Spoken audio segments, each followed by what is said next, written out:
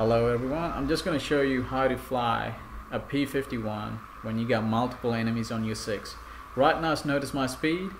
It, it, was way over 600 kilometers per hour, but I got to climb a little bit to do what I'm about to do. Right now, my, one of my buddies here, John Ulrich, is going to try and um, get a couple of these guys that's chasing me, but it ends, ends up, one of them end up getting a lucky shot on him, right? As soon as he goes, all of these players are gonna coming on my six.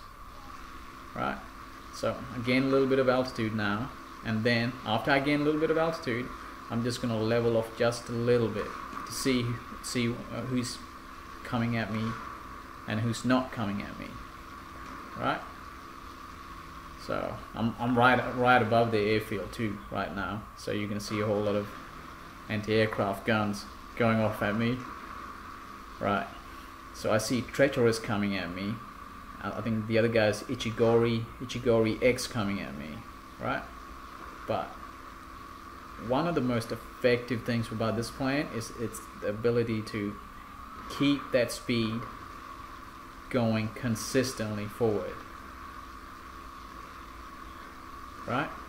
And, I, and right now I see him coming, so I decided to pull up 10 degrees up my nose. I'm using full mech controls, that's manual engine controls. I decided to make this little chandelle-like loop.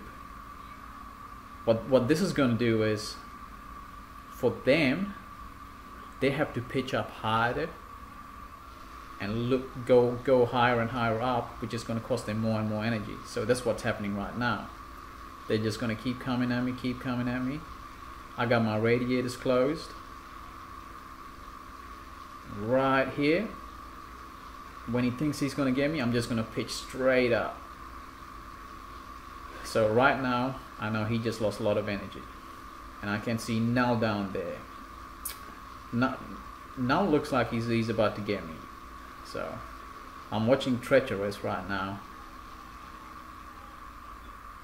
And uh, yeah by, by the looks of things Null thinks I'm probably going for Treacherous so he just comes back at me Bam. Right there. That's what you call a chandelle. What what you what what I really did was use my speed to get separation, and then get altitude, and then corkscrew, a large corkscrew through there, and then come down on the enemy. Right now, Ichigori, Ichigori, Ichigori X, he's coming at me. I'm gonna do the same thing. Gain a whole lot of speed, pitch pitch my nose up a little bit, and then go right into him. But this is not going to be a chandelle. This is going to be a merge, I think. Yeah. If I can remember.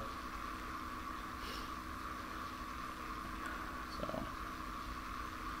Also, when you're going at these speeds for a long time against Japanese, Japanese have weak engines, so they heat up a lot more faster than you do.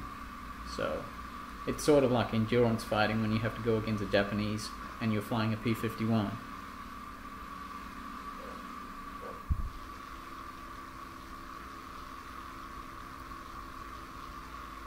Okay.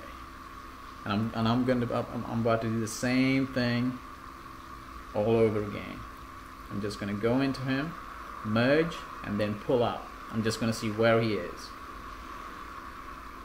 And this is where I sort of made my mistake. What I did was I went straight up, and but I didn't cut the throttle down. Because I didn't cut the throttle down, I, I went right into him too soon, too fast, and I overshot him. So it's going to happen right here. So what I did next was I just flew away from him.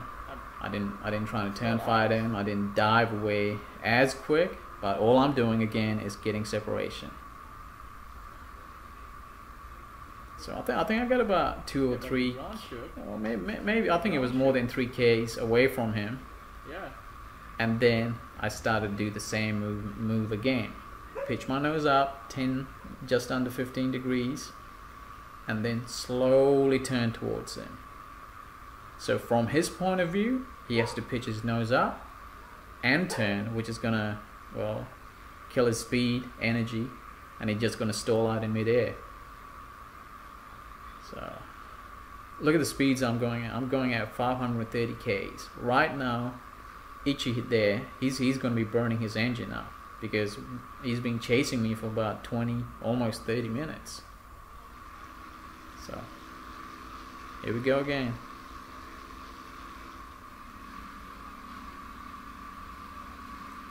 Okay.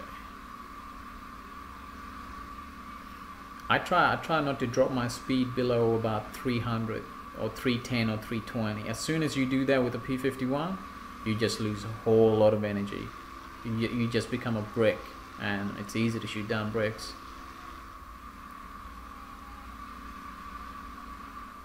There we go. There we go. Alright. No, notice I wait till he turns. I wait till he tries to pitch up at me. And only after he does that, then I start pitching up. at these altitudes, Easy's going to have a very hard time. This, it's not going to have enough engine power to come at me. As soon as I, I hit um, below about 300, I start dropping my flaps. I cut my throttle because I don't want to do the same thing I did before. Just overshoot him. I just wait till he commits to